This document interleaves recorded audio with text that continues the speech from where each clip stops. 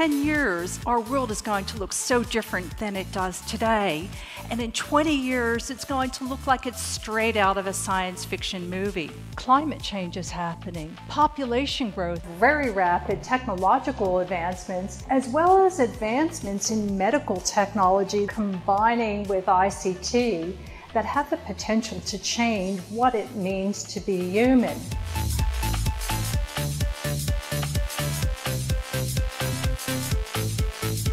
Which particular jobs are most in the firing line? Well, anything that involves predictable physical labor is first up, and then data processing and data collection type of jobs too. Things like driving a vehicle mm-hmm. or in a warehouse, packing and stowing things. In China, there's already a restaurant where they've got robot waiters. You walk in, you get greeted by a robot, it takes you to your seat in the kitchen, there are robots that are doing stir fry and making dumplings, and then there are other robots that are serving you your meal.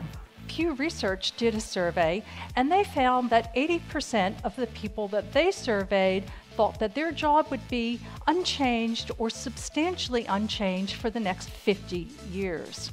But two thirds of those same people thought that automation or robots would take over other people's jobs. It's going to happen, just not to me.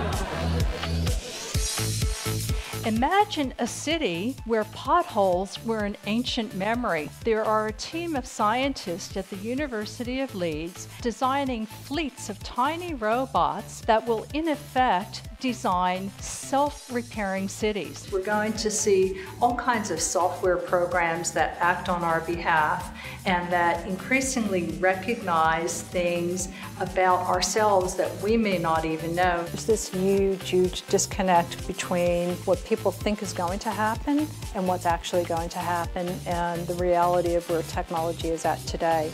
So education is absolutely fundamental. I see tremendous opportunities. You can take a dystopian view of the future, or you can take a view that we can actually shape our future and make it one that we want to live in.